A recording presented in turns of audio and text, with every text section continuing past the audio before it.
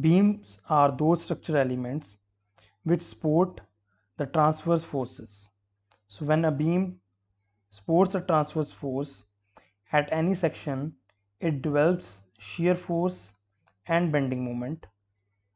So now in this example, we can see that the variation in the shear force and the variation in the bending moment. So in the section CD, we can see that the shear force is 0.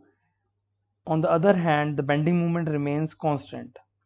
So for the section CD, we can say that the beam is under pure bending. So if a constant bending moment acts on a span of beam, the stresses are set up in the beam along the cross section such that it forms a couple and that couple resists the bending moment. So the internal stresses that are developed in the beam are known as bending stresses. It is very easy to imagine that if a beam is there and it is under a constant moment m, so it deforms and forms the new curvature. So this new curvature you can see that the innermost layer has the reduced length. So that inner layer will have compressive forces and the stress generated will be compressive in nature. On the outermost surface there is the increase in length. So that layer will be under the tensile load and the stresses generated will be tensile in nature. So in this video we will discuss about the expression for variation of bending stress along a transverse section. So it is the theory of simple bending that gives us expression for variation of bending stress. So this theory of simple bending is applicable for only the case or you can say for only the segment where we have pure bending. Pure bending means my moment is constant. And there is no shear force or axial force. So there are certain assumptions about this theory. So first is that the material is homogeneous and isotropic. Isotropic means that the material has same values of Young's modulus in tension and compression. Second assumption is that the transverse plane remains plane and perpendicular to the neutral surface after bending. So now if this is a beam, so according to this assumption we assume that if this is my transverse plane, so it will remain plane perpendicular to the neutral surface. For example, this is the neutral layer for this.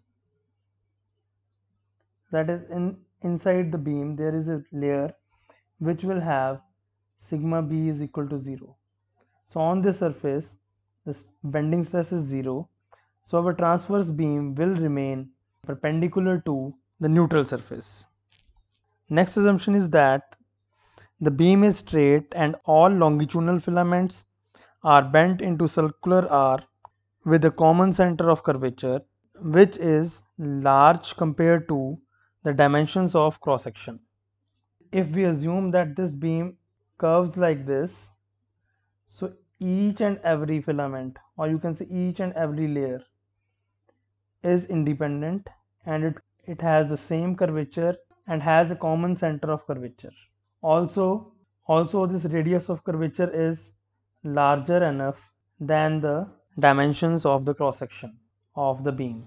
Fourth assumption is that the beam is symmetrical about the vertical longitudinal plane passing through the vertical axis of symmetry for horizontal beams. That means that if this is a beam, the section which is represented in orange color represents the vertical section. So the beam must be symmetric about this axis. So you can see here if I am having a rectangular cross section and this is my vertical axis it is symmetric around this vertical section. So now consider a beam that is under pure bending like for example in this section you can see CD it is under the pure bending having M as bending moment and it is constant throughout the span CD. So if I show this in an enlarged view so let's see that this is the span CD that is under pure bending. So consider this axis XX. So in this span of pure bending consider a small element. In this small element we consider a small layer that is at the distance y from the axis and if I draw the side view so this is the plane that represents the neutral surface or you can say the axis xx and the segment that is under consideration that it I call it AB the segment AB so this one that is at the distance y. So when the moment m is applied it will form a curvature and the center of curvature will be point O and the neutral layer will have the radius r. The radius for curvature for the neutral surface is r. And the angle made by this segment AB is theta. And the layer under consideration is at the distance y. After deformation AB changes to A dash B dash. The neutral axis will have same length as that of previous.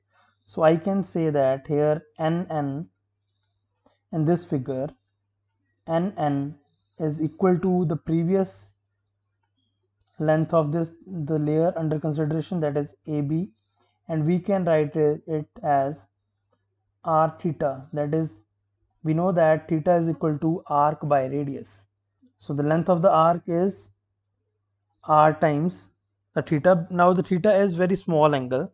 So that's why we have written the length of the arc is equal to r theta.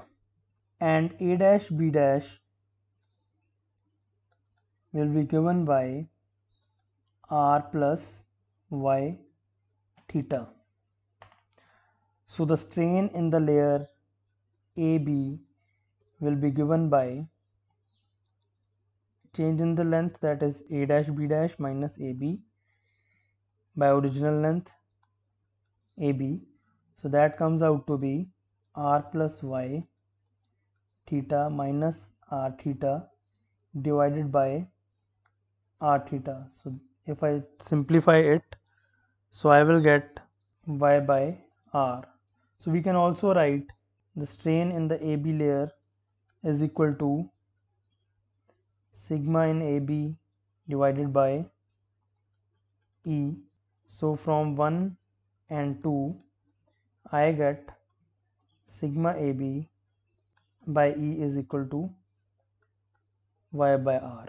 So from here I can write that sigma by y is equal to E by r. So this is an important component of bending equation that is derived under the theory of bending. So if I see this equation, so here I can see that sigma is equal to E by R into Y. So E and R are the constants. Sigma is a linear function of Y. So that means as I move away from this axis, either on positive side or negative side that means on the extreme layers the sigma will be maximum.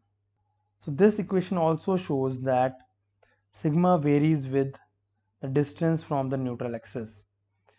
At the neutral axis y is 0 so there is no stress. It is stress free layer. So if i if you see here the layer that is represented as a neutral axis or you can say neutral surface will have sigma 0 and as I move away from this my stress increases. Here we have tensile stresses and on the inner section we will have compressive stresses.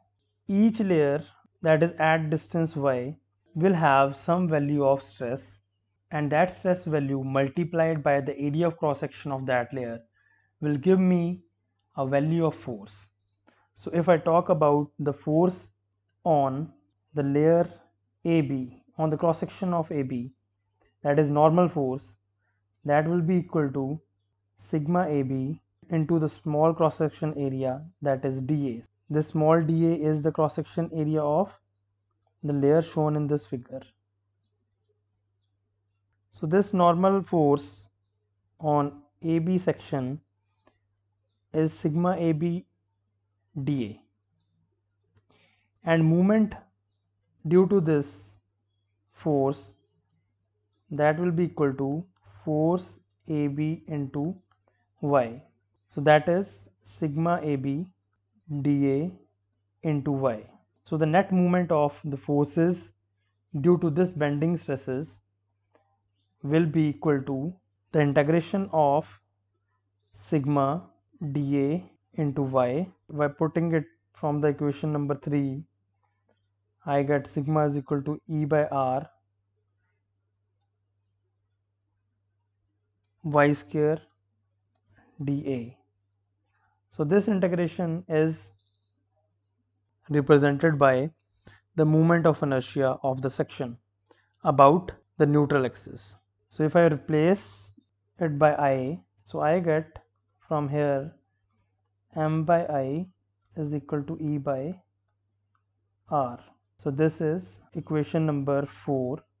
So from equation 3 and 4 I can say that m by I is equal to sigma by y is equal to E by R. So this equation is called bending equation and it is an important result of theory of bending.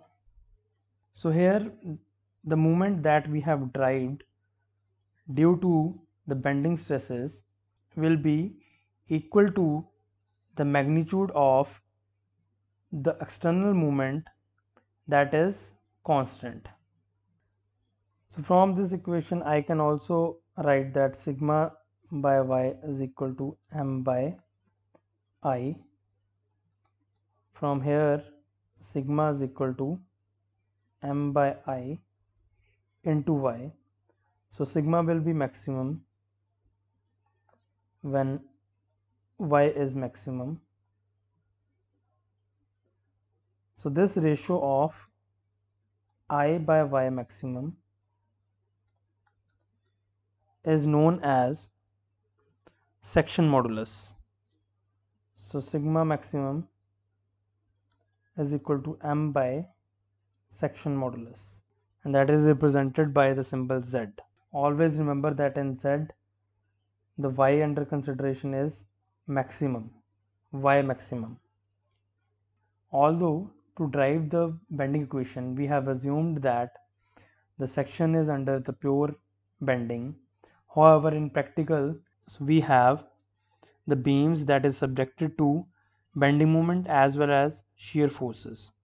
But this theory or you can say this equation can be used to obtain the value of bending stresses with a reasonable degree of approximation for the purpose of design of the beams.